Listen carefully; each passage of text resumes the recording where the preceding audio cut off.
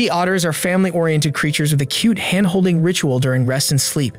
They form a hand holding chain or raft to ensure safety and companionship in the vast ocean environment. This behavior helps them stay connected and prevents drifting apart while sleeping.